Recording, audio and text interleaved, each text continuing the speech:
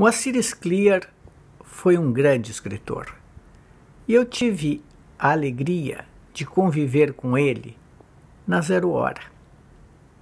Depois também tomei um café da manhã com ele em Paris, quando eu morava lá, e ele gentilmente me telefonou para realizar aquele encontro.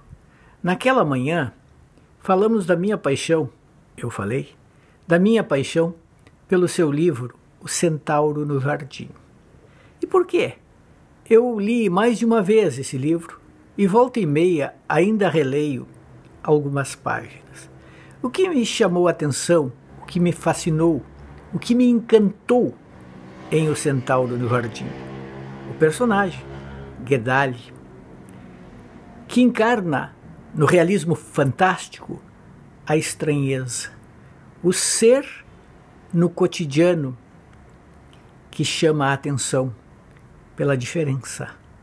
Esse ser que, de certa maneira, encarna o inconformismo, a rebeldia, a diversidade, tudo aquilo que a banalidade do cotidiano não pode suportar.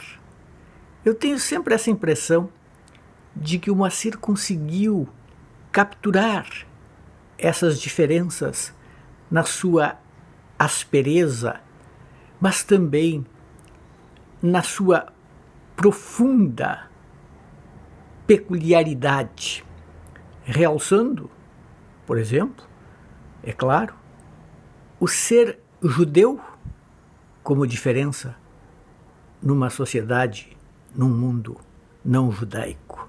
O personagem ainda aparece na minha mente, no meu imaginário, volta e meia, como que saltando da página.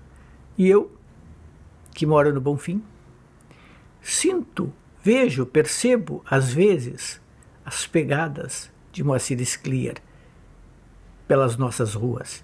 Ou, o que é ainda mais frequente, as pegadas dos seus personagens os rastros dos seus personagens.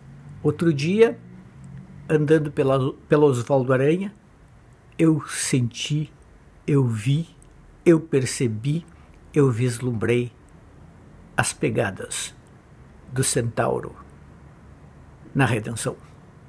E eu sorri e pensei, grande Moacir Scliar, um dos nossos melhores escritores.